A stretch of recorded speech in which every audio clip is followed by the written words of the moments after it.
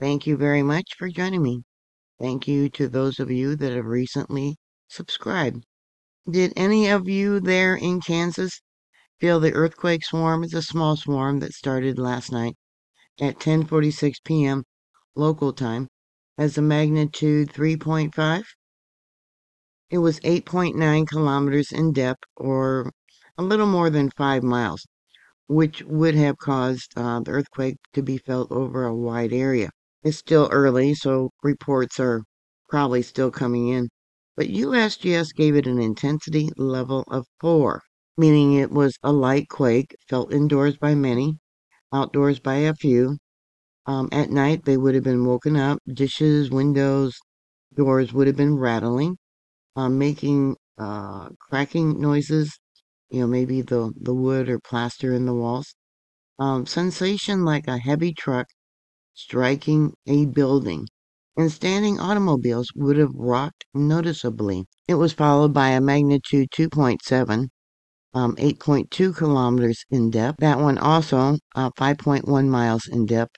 And then more recently, there was a magnitude 3.2.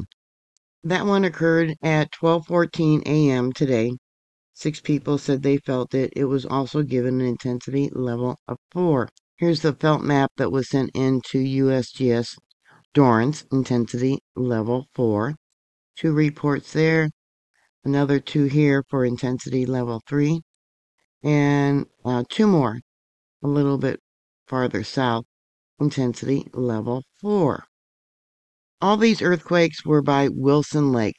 Now that is a man-made reservoir. So it could have been activated by maybe the weight of the water or the reactivation of the Central Kansas uplift. There are no known faults in this area, at least none that have been mapped. Um, there has been about 200 earthquakes since 1977 on uh, yeah un, unmapped basement faults for this area. It's also part of the Mid-Continent Rift system and we also got the um, Humboldt fault system. Yeah, from 1977 to now, uh, 200 earthquakes less than a magnitude 3. But there's been an uptick lately. So possibly, yeah, these faults have been reactivated. I don't know. Um, very unusual. You can see all the quakes that I got mapped out here. There hasn't been any um, in this location. But now there is. Kansas ranks 45th for earthquake um, probability safety of all the um, states here in the United States. Yeah, 45th. So they they're not supposed to have earthquakes in Kansas, or at least a low probability for earthquakes in Kansas. Scientists say that there is only a 2% chance of a magnitude 5.0 occurring in Kansas within the next 50 years. The largest was in this area here was in 1867. Now that was a magnitude 5.1. That struck near um, Manhattan, Kansas. But as you know, yeah, we got some major earth changes going on. The weakening of our magnetic field. And earthquakes are growing in size and in number. I hope people are prepared for you know, what could be coming in the near future. Future. So I would like to know if you felt this earthquake, if you're watching this video, and how long did it last?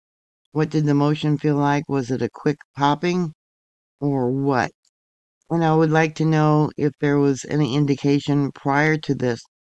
Maybe your pets were nervous or, yeah, um, acting up. Maybe the cattle were um, unsettled. Yeah, put your comments down below. Thank you very much for watching. I look forward to your comments. Please stay safe. Always be prepared for disaster. And I'll talk to you later. God bless you.